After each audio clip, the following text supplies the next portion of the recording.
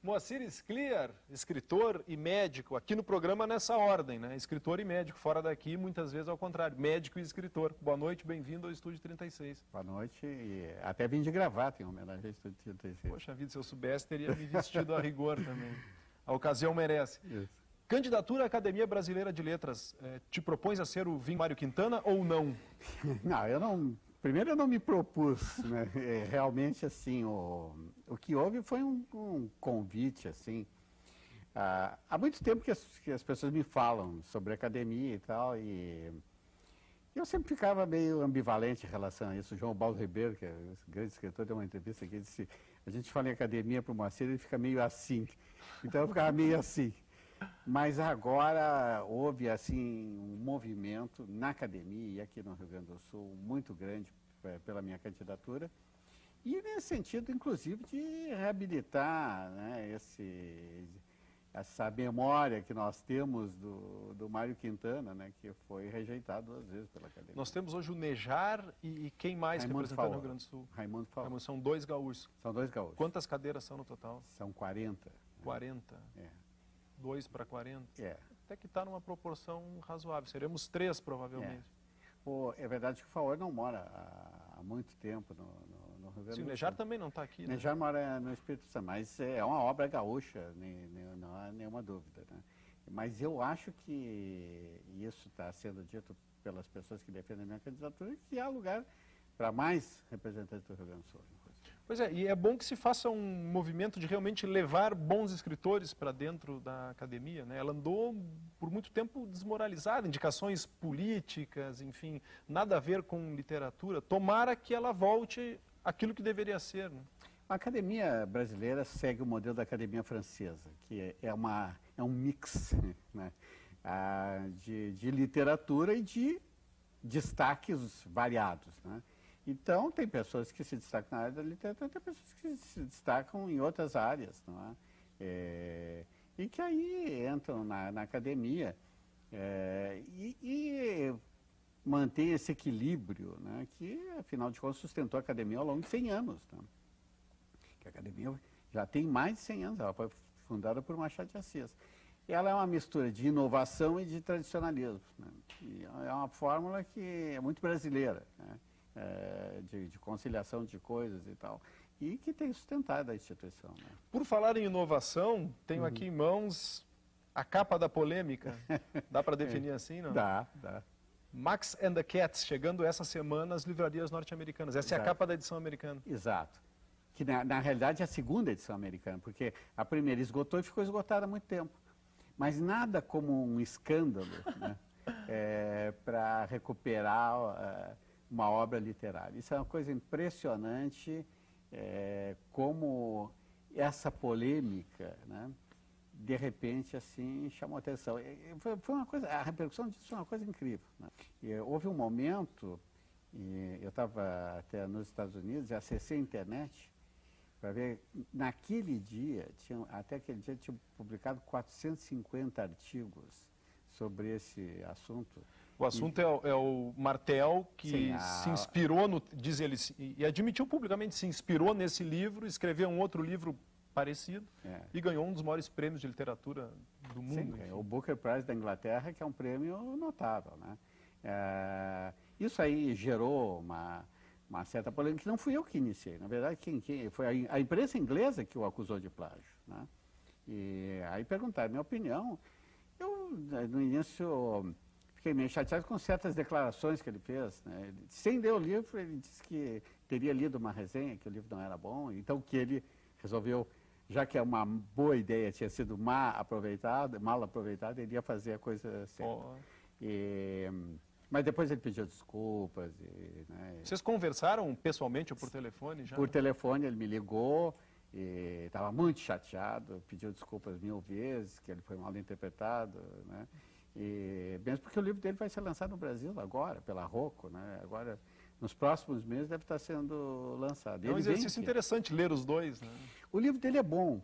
Eu li o livro. Ele, né, a- o livro chegou no Brasil para ser traduzido e me mandaram um exemplar. é, a ideia está ali integralmente. Né? Ele aproveitou a ideia do livro, realmente, só mudou assim onde, onde era a Jaguar, eu botei um Jaguar, ele botou um tigre de bengala, o, o, meu personagem era um alemão, ele botou um hindu, mas... E na capa, em vez de botar esclera, ele botou um martel. o resto é mais ou menos é, parecido. O resto, né? resto é. que espetáculo. Maravilha. Sclera, imagino que, mudando um pouco de assunto e falando naquilo que o mundo inteiro fala hoje, tu és um intelectual brasileiro, um cidadão do mundo, tu estás acompanhando os desdobramentos da guerra. Resumir tudo numa opinião é complexo, mas enfim, o que te parece isso tudo? Como será o mundo daqui para frente depois dessa guerra? Bom, eh, nós nem sabemos ainda como é que vai terminar isso aí. Né? E, o que é certo que as expectativas estão sendo contrariadas. Né? Ou seja, aquilo que foi planejado não está acontecendo como, como foi planejado. No roteiro ideal teria sido uma guerra ultra rápida, né? É, que teria terminado com a derrubada do Saddam Hussein, a democratização do Iraque, etc, etc. Não é isso que está que, que acontecendo.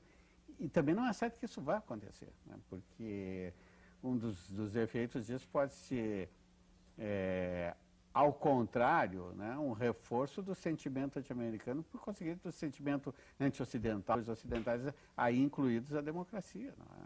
É, realmente, assim, até agora está parecendo é, que a gente pode apl aplicar um aforismo que é famoso, que é de um, de um político inglês que, é, que disse, pior do que, pior do que o crime foi uma bobagem. Né? É, porque ah, o crime, pelo menos, é, ainda tem intenção. Né? A bobagem revela incompetência. Né? Então, ah, acho que todo mundo está nessa coisa de axiologia, né? Tu liga a TV, está todo mundo achando alguma Na coisa. Na falta de notícia, achamos não, todos. Todos né? achamos, todos os artigos é, é uma axiologia, né? Mas não há dúvida que é, raras guerras tiveram assim...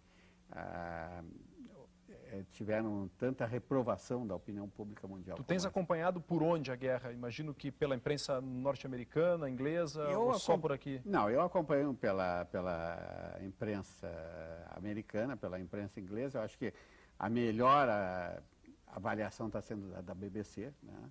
é, que é, é sóbria.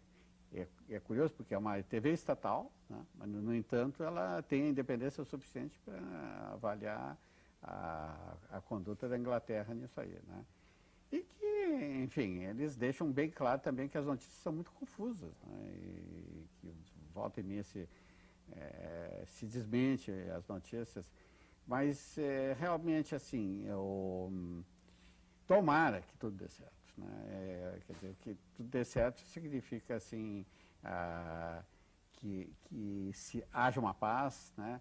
Que haja oportunidade de resolver vários outros conflitos, inclusive é, o conflito de Israel-Palestina, não é? E que, enfim, se possa partir para uma recuperação. Mas que não começou bem, não começou. Bom, é, é simplificar entre ser favorável e contrário, com perdão, perdão da redundância, é uma simplificação. Não dá. Não dá porque não dá. Isso, Eu queria te perguntar assim, se Moacir Scler tivesse uma cadeira no, no, Conselho de Segurança da ONU, votaria a favor ou contra a intervenção não, militar? Não dá, não dá porque nós não podemos conceber isso como uma luta de mocinho contra bandidos. Né? É, num certo plano, é, é, uma luta de bandidos contra bandidos. Né? E no plano mais amplo, no plano das pessoas, do, da população, desses jovens soldados, é uma luta de vítimas contra vítimas. Né?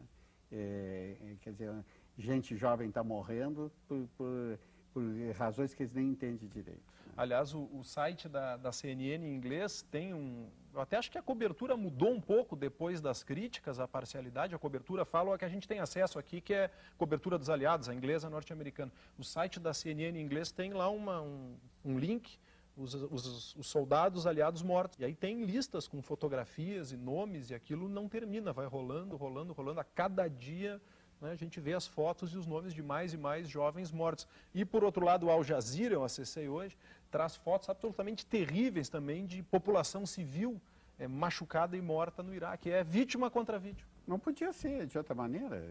É, como é que, com, esse, com bombardeios maciços, por mais cirúrgicos que sejam, qualquer pessoa que fez cirurgia sabe que mesmo na cirurgia, né, por mais cirúrgico que tu seja, tu acaba lesando também, não é? Ainda mais com, com bombas de 3 mil quilos, 6 mil quilos. Então, uh, é, essa, isso aí tudo é inevitável. E a população americana até agora está movida por um sentimento patriótico, né? mas o que, que vai acontecer né, quando realmente assim ocorrer a volta desses, desses soldados mortos né, uh, e as famílias começarem a se manifestar. Os famosos envelopes pretos, famosos desembarcando envelopes, nos Estados Unidos e na Inglaterra. Né? Exatamente. Escler, quando é a eleição para a Academia Brasileira? As inscrições se encerram 27 de maio, é isso? É, não, as, as a, a, sim, as inscrições já começaram e deve terminar 27 de maio, mas tem uma outra eleição antes, né? porque tem uma vaga prévia que não foi preenchida ainda, que está sendo disputada lá, lá no, no Rio de Janeiro e em seguida vem essa. Então, essa deve ser mais ou menos por julho. Né? Ah, estão entrando estão saindo candidatos também, porque ah, um dos candidatos, que é o José Lozeiro, belo escritor carioca, autor do Pichote, aquele livro que foi adaptado com a Marília Pera, né? ele me ligou anteontem para dizer que ele tirava, diante da minha candidatura, que ele retirava dele, passava a apoiar a, a minha candidatura, né? É, o que me deixou assim realmente muito satisfeito, é, porque também é um, é, nós fazemos parte de uma geração de escritores, né? começamos a escrever nos anos 70 e há, existe laços afetivos muito fortes entre esses escritores. Né? É, o Zé Lozeiro, o João Baldo Ribeiro, a Nélida Pinhon, né? a Ivan Ângelo, enfim, né? a nossa geração continua mantendo as suas ligações e o pessoal da minha geração que está na academia faz força para eu entrar. Né? Moacir Escler, obrigado pela presença, sorte, sucesso, estaremos acompanhando e torcendo pela tua candidatura. Não temos voto, mas estamos torcendo. Exato. O Túlio é autor de um livro que um dia vai levar à academia. É... A academia de polícia, talvez não a brasileira de letras. Não, obrigado, obrigado pela, pela presença e sucesso, tá? Obrigadão.